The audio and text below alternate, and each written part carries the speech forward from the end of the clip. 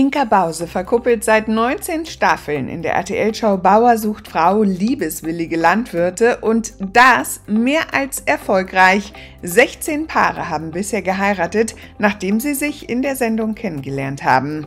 Nur die Moderatorin selbst hat den Mann für immer noch nicht gefunden. Doch das Leben hält bekanntermaßen immer wieder Überraschungen parat. Inka bleibt offen für alles, wie sie im bunte.de Interview bei der Verleihung der Gold Goldenen Henne in Leipzig verrät. Ich bin immer offen, ich bin immer wach und ich bin immer neugierig.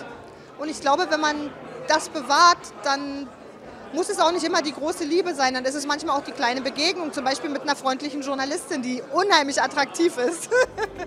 Inka ist Single und glücklich, wie sie im Interview betont. Ja, aber natürlich. Also guck mich an, ich sehe jetzt ja nicht aus wie so eine Trauerweide, die total unglücklich ist.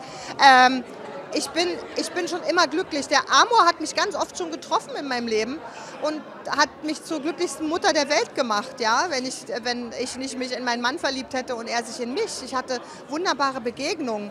Aber nun ist das eine längere Zeit schon nicht mehr so, weil ich mich vielleicht um was anderes kümmern muss. Das Schicksal meint es vielleicht auch ganz gut mit mir und sagt, jetzt komm mal ein bisschen zur Ruhe, kümmere dich mal nur um dich. Das Kind ist jetzt mal aus dem Haus und jetzt bist mal du dran. Und vielleicht ist das ja der richtige Moment, dass das Amor dann mal zuschlägt. Und wenn nicht, ehrlich gesagt, ist auch nicht schlimm. Männer sind toll, aber ohne Männer geht es halt auch.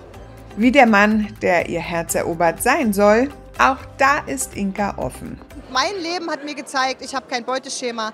Wenn ich einen interessanten Menschen finde, dann zündet der mich an und dann finde ich den toll. Und ob der 1,50 ist oder 2,10 Meter, dick, dünn, äh, was auch immer, welche Couleur auch immer hat, ob sie den Mann fürs Leben noch trifft oder nicht, eines steht fest, Inka genießt ihr Leben so, wie es ist.